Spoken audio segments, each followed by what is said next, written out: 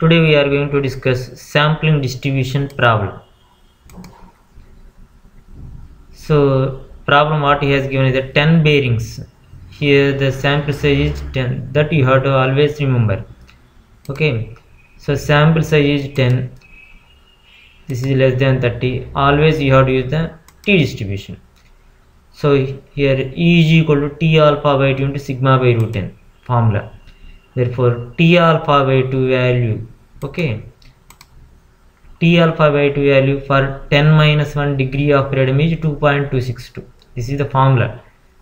For if n is equal to 10 t alpha by 2 value how will you get for n minus 1 that is nothing but 10 minus 1 degree of freedom.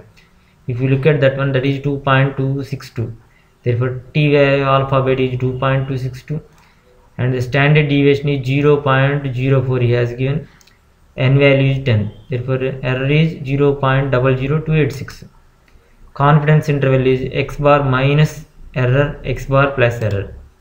If you do this one you are going to get it as the x bar value is 0.5060 minus error 0.5060 plus error.